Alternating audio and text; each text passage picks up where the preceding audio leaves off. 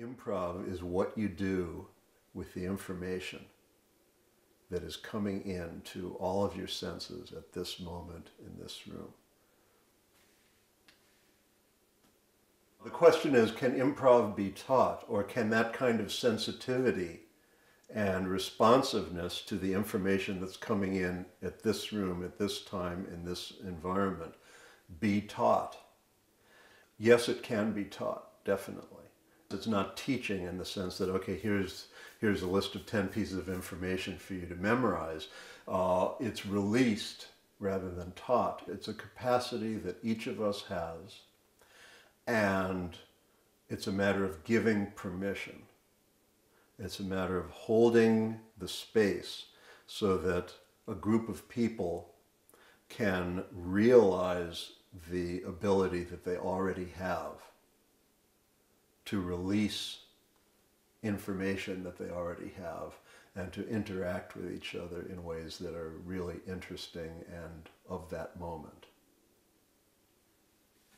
So it could be music, but it could be other things. It could be music, it could be conversation, it could be movement, it could be dance, it could be theater, it could be film, it could be painting, it could be economic policy, it could be business, it could be medicine.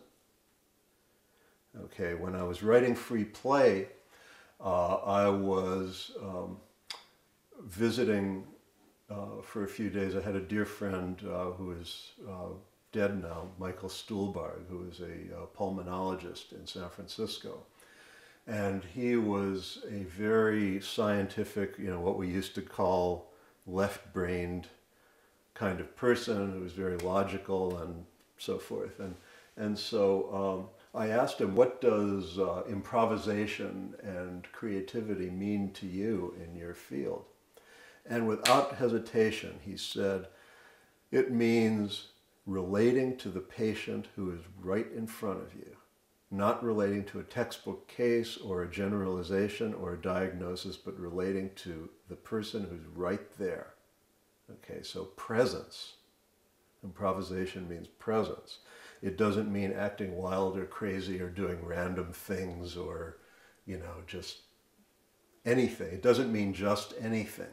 Okay, because what's happening in this room, the sounds that are coming in the window, the sounds that your partners are making, the gestures that your partners are making, the conversation that you are having is not random. It's intensely and immensely structured.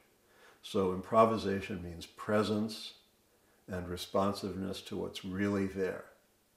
So it's very, very close to the scientific method. Improvisation is about data.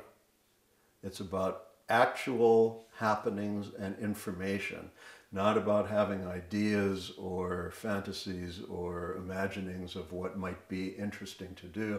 I mean, those are important to have too, but a sculptor uh, who has a fanciful idea for a three-dimensional shape that sounds really interesting, but that three-dimensional shape is top-heavy and sticks out this way, and as soon as you build it, it falls over. Okay, that's not going to work. Okay, so it's experimental science.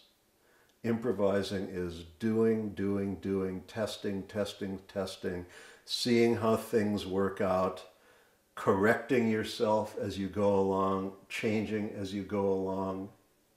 Okay, I play the violin, and that's an analog instrument, so you have fingers sliding up and down a string with no frets. Okay, and you put your finger on a place on the string and it makes a sound and you don't like the sound, so you're free to change the sound. You're free to move your finger around. You're free to use different kinds of pressure, different kinds of touch, and you keep correcting and changing until you get something you like. And that happens microsecond by microsecond. Okay, we really do the same thing when we're driving. You've got the steering wheel there, and it's just always going right to left to right to left because you're always a little bit off course, just as your uh, blood temperature in your body is always wiggling around up and down around a certain normal value, but it's never at that value. And you're driving around and you're always correcting. And that's improvisation in daily life.